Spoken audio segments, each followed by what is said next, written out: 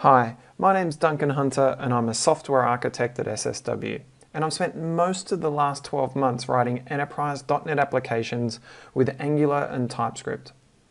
And I'm really excited for the next version of Angular, Angular 2. I think it's going to be awesome for reasons I'll get into in a second. But it's so different, you could almost give it a new name, like Perpendicular. But I think it's going to give the Angular team a chance to implement everything they've learned being the most popular front-end framework over the last six years. But Angular 2 is going to be a huge learning curve, just like Angular 1 was. But once we all get our heads around it, I feel it's going to be a much easier framework to use. And there's going to be some big benefits. It's going to have better performance, easier to use, future-proof with ECMAScript 6, and it's going to use emerging web standards like web components but it will have no two-way data binding and a lot of new syntax. But this will bring a lot of performance improvements without the digest cycle. And there'll be some nice new syntax as well for doing property and event binding combined. TypeScript will be the new default language for Angular 2, and Angular 2 is written in TypeScript, which means that we'll get compile time checking, we'll get auto completion, and we'll get some great refactoring tools. And we'll also get this new decorator syntax shown here with the at symbol.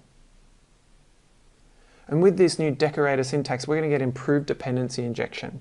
No longer will we do this hacky set of strings for all of our uh, injected dependencies so that they're minification safe.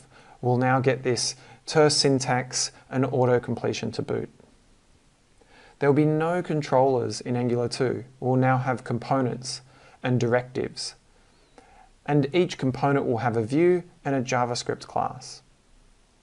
And for these new components, we'll have a new component router to be able to wire together all of our components in our application. In Angular 2, we'll use ECMAScript 6 modules. And this is really important because in Angular 1, there was no way to asynchronously load modules without doing some pretty hacky things. But in Angular 2, we'll be able to load a little bit of our application on initial load and as we route to another section we'll be able to then load the next part of our application without having to pull down the entire application on that initial load. And also we'll get some exciting new tooling coming on the scene with things like JSPM and Webpack. So this is a lot of change and I'm really excited to start using Angular 2 at work. And if you haven't started learning Angular 2 yet, now is a really good time to get started. And I'd love to help you stay up to date with all of this change. So cheers and thanks for watching.